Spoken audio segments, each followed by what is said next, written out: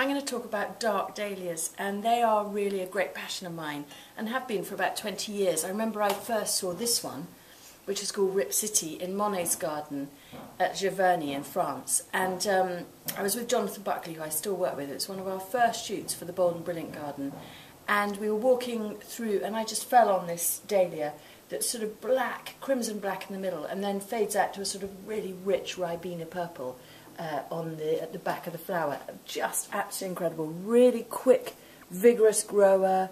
Uh, bulks up so you can divide it every year. It's just a massive, massive performer. So, so that's Rip City. And then I'm also completely mad on this one, which is like a really dark black sea urchin crossed with a sea anemone. So it reminds me of kind of rock pool in Scotland or in Cornwall or somewhere, and I love that one. That's called Chat Noir Black Cat. And then because of the bee and butterfly and pollinator quest, which I'm also very keen on, and providing flowers uh, which give nectar and pollen. This one, which is called Bishop of Auckland, is also a favourite. This delicious velvet texture, and each of those at the middle is a nectary and is full of nectar. And so, if you see that in the garden, it's always alive with butterflies and, and bees. And then this rather neat one is called Jowey Mirella. And uh, again, really dark, really rich, really good performer, really good vase life. So that's another cracker. And the final one in the ultimate, amazing, sublime Dark Dahlia collection is the darkest, darkest of all, which is here, um, tucked in at the back. And you can see how rich, it's like sort of an espresso, a double espresso. And that's called Sam Hopkins. So what an amazing array of different dahlias, all with different flower forms, but in this really rich colour range. And I'm going to use them in an arrangement. So the first thing I'm going to do is I'm going to use the red orache or atriplex, which is something that you can also eat when it's a baby leaf in the spring. It self-sows, and, um, and so you'll find it sometimes in catalogues as a salad leaf uh, or as a foliage plant because in the autumn it forms these wonderful queen-like seed pods and, uh, and so makes a really good long-lasting foliage plant and is particularly good for its scale to arrange with dahlias, which and it, and it looks at its best at exactly that time of year, so it's, it's perfect with dahlias really. And um, so that's going to be my first foliage into my favourite of all vases, which is called a Nero vase. And normally, when I arrange in a vase, I'd use a pin holder. But the great thing about a Nero vase is because it's got this slight belly here and it flares out here, it is literally the perfect shape. Because what happens is that when you put a stem in, you can just lodge it across the vase like that, and it just sits uh, across. And so you get this nice flaring, which is emphasised by this slightly flaring neck. I am not at all keen on the straight cylinders, because everything looks like this, this incredibly sort of uptight and, and too sort of vertical. And I like things to be a bit more graceful and elegant and sort of coming out as much as they come up. And, um, and so the Nero vase is, is really, it just makes that so easy to do. And once you've got a bit of a web of stems in by sliding them across, almost creating a grid, you then don't need your pin holder because you can then just slide these in and they sit in the grid. So I've got my atriplex in as my first foliage and then I'm going to use the wonderful acid green plant called Moluccella laevis or bells of Ireland. And all these are things that are easy to grow from seed and all you need to do with the Moluccella, and this dries too, is I, I just remove most of these little side leaves going up the stem because they actually go brown whereas the little shell-like flowers, or in fact calices, don't go brown. Of course, they aren't the actual flower, because if you look right in here, that's the, in fact, that's the flower. And so these are brilliant for pollinators too. They've got a classic salvia-like flower, but inside this green calyx. So um, they're really good for us, for flower arranging, and they're really good for the bees and butterflies. So it's, it's one of my really favourite garden annuals. Half hardy annual that you sow in March or April and um, then you pick it really sort of July through to October time and then of course it dries. So pop some of those in, again coming out as well as coming up. And the great thing about Moluccella is that it's a wonderful contrast to the Atriplex, you know, the lovely acid green. So how easy is that? You just plonk them in really. And then finally, in terms of foliage, I'm going to use the wonderful dill. And I'm using this as much for its scent as well as its beautiful colouring. And we grow lots of dill here.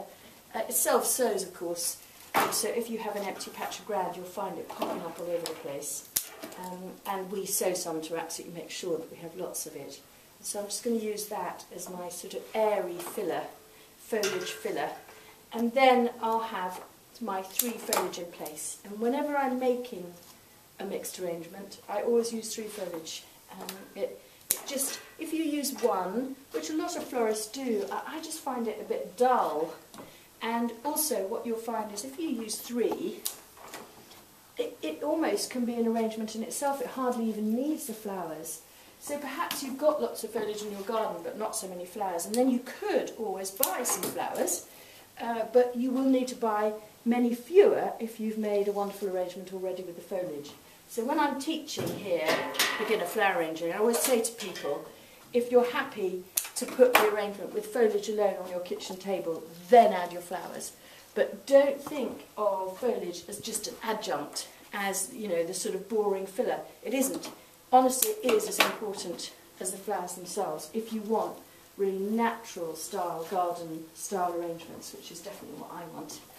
Um, and so primary foliage here, what I would call primary, which is the thing that provided the main structure to the bunch, is Atriplex Hortensis rubra, and then I filled it out with the wonderful Bells of Ireland or Moluccella laevis, and then I've just got my airy filler um, and sort of upper story, just standing a little bit proud of the others, which is dill or Anethum graveolens. And once I've got all that in place, I'm ready to move on to, to my flowers.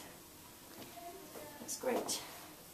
So for the flowers, I've got all these beautiful black dahlias, but if I had them on their own, they would be on the sombre side. So in fact, I've picked some incredible orange Tithonia or Mexican sunflower as my contrast. So I've got all my lovely rich blacks, in go the dahlias, and just really pretty willy-nilly, randomly threading them through the foliage from the back, otherwise I'll obscure the arrangement. So this is Rip City.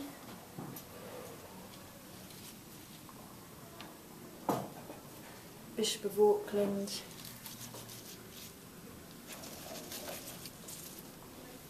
Jowey Mirella.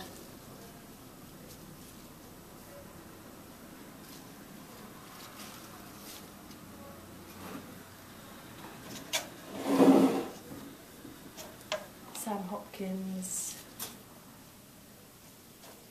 Chat Noir,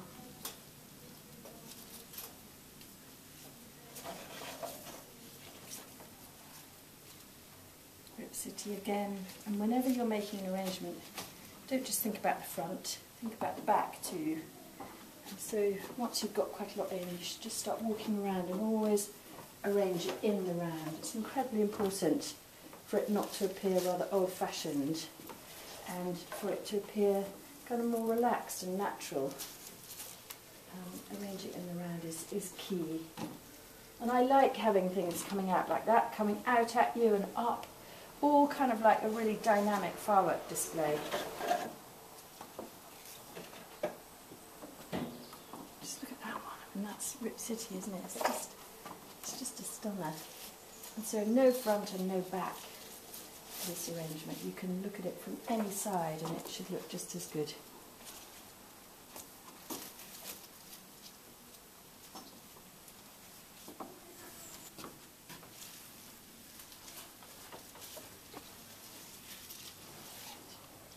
Okay, now time for the colour contrast. So then just a little splash of what I call the gate crusher. The colour contrast going in now. Not too much, um, to kind of overpower it or just, just a splash of it to enliven it really.